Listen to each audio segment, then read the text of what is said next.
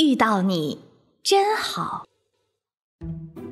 以前，以前，很久以前，有一个棘龙宝宝到海边来摘红果子。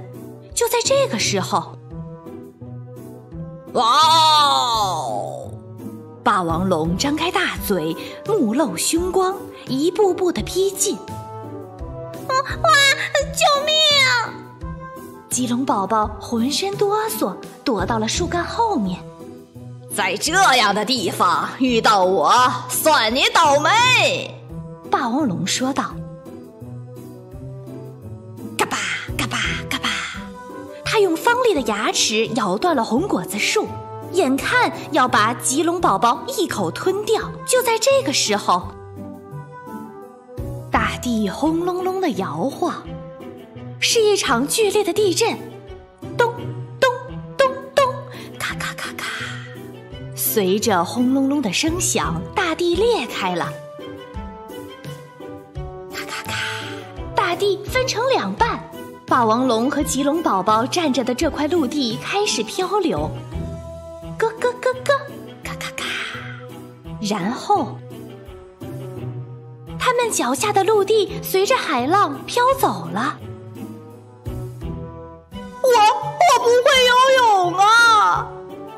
霸王龙沮丧地嘟囔道：“我我也不会游泳，我们我们会怎么样啊？”棘龙宝宝哭着说：“什么？我们会怎么样？哈哈，你就要被我吃掉了！哈哈哈哈！”霸王龙说着，把棘龙宝宝轻轻地抓起来。不行，不行！你不能吃我！棘龙宝宝尖叫着：“我是捕鱼高手，从今天起我会为你捕很多很多的鱼，你每天都能吃到美味的鱼。要呃，要是你现在把我吃掉，那以后就要一直饿着肚子了。所以，所以你不能吃我，好不好？好不好？”你真的会捕鱼？霸王龙话音刚落，棘龙宝宝哗啦一下把头扎进海里，很快他就叼着一条鱼回来了。霸王龙别提有多高兴了，咯吱咯吱咯吱，嗯嗯，好吃好吃，真好吃！以后你就给我捕鱼吧。霸王龙食量惊人。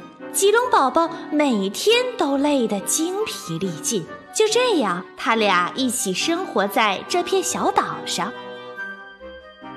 一天晚上，我叫抽抽搭搭，因为我爱哭鼻子，所以大家都这么叫我。叔叔，你叫什么名字啊？棘龙宝宝望着霸王龙，我，我是无名。你叫无名啊？这样啊，吴叔叔，你来这里干什么呀？吴吴吴叔叔啊，好吧，那天我想在红果子树边一定能找到好吃的家伙。你呢，丑丑哒哒，你来这里干什么？丑丑哒哒悲伤的回答：“我妈妈病了。”翼龙叔叔告诉过我，吃这种红果子能治病，是吗？为妈妈来到这儿，霸王龙说。抽抽搭搭哭着说：“我不知道妈妈现在怎么样了，她还在等着我吗？”霸王龙温柔地说：“你妈妈一定没事儿，她一定在等你回去呢。”谢。谢谢叔叔。霸王龙从来没听过别人对他说谢谢。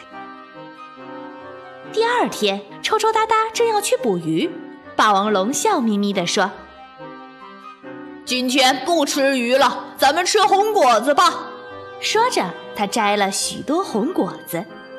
抽抽搭搭高兴地喊道：“叔叔，你太棒了！”霸王龙从来没听过别人对他说“太棒了”。咯吱咯吱咯吱，嗯，真好吃！叔叔，你也快吃吧。抽抽搭搭说：“霸王龙也把一颗红果子扔进嘴里，咯吱咯吱，嗯，好吃，这可能比你还好吃呢，哈哈哈。是吧？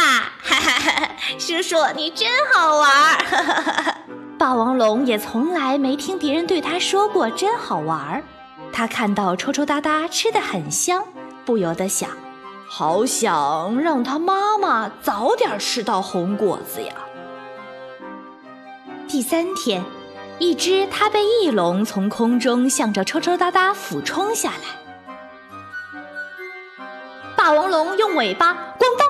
一下把它甩走了，抽抽哒哒高兴极了。叔叔，你真酷！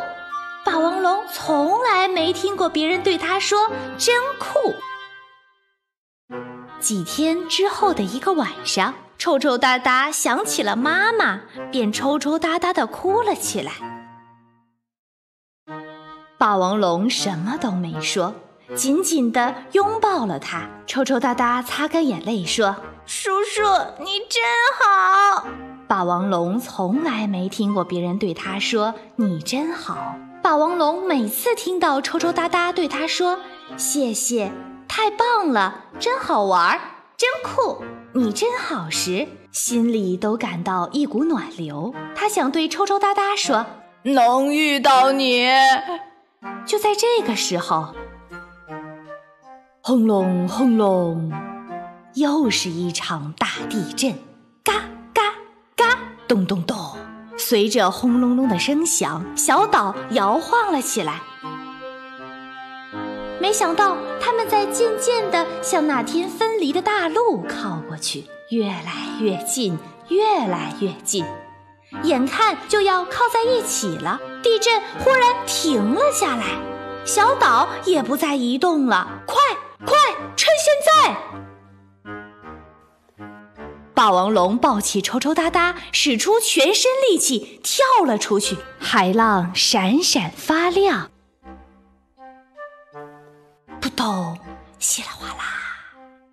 不容易跳到了对岸，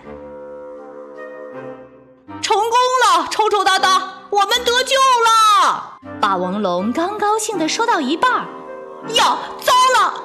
然后，哇！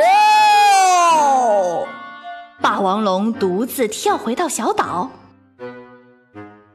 嘎巴嘎巴嘎巴，它咬断了红果子树，紧紧抱住树干，竭尽全力，